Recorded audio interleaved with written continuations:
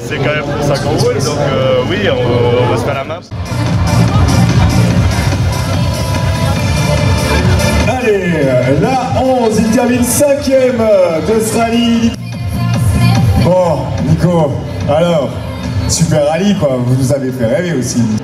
Oui, bah, on peut faire plaisir aux spectateurs aussi, ça, quand on voit les gens au bord de la route euh, à, à nous pousser, c'est- fantastique. Quoi. Ouais, et toi dans le baquet pour cette nouvelle voiture, comment?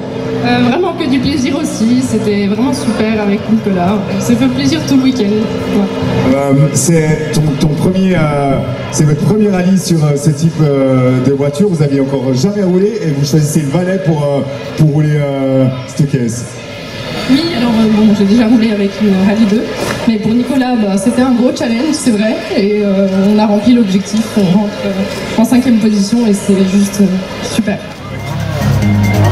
Il a vite compris comment ça marchait. Cinquième de ce rallye, superbe. Pas mal de vent, ça veut dire imaginer